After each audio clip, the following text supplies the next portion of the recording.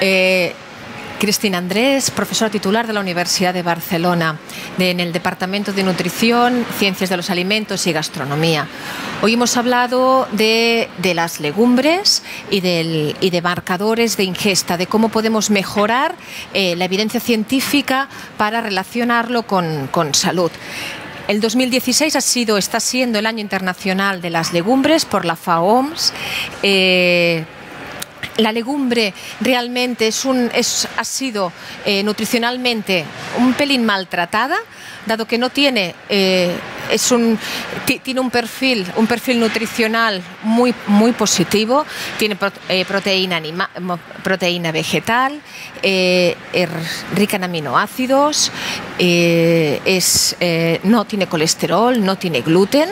por lo tanto es un, nutricionalmente es, es excelente, es de, es de calidad.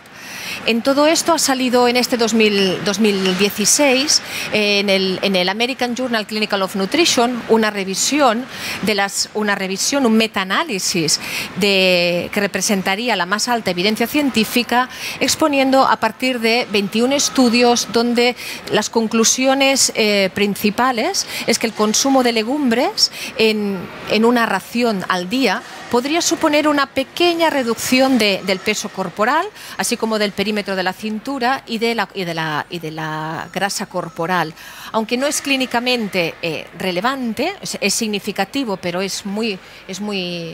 reducido este efecto, sí que es cierto que se puede utilizar y es de, recomendación utilizar o favorecer los estudios de intervención con legumbres para poder eh, al menos mantener lo que sería el peso corporal.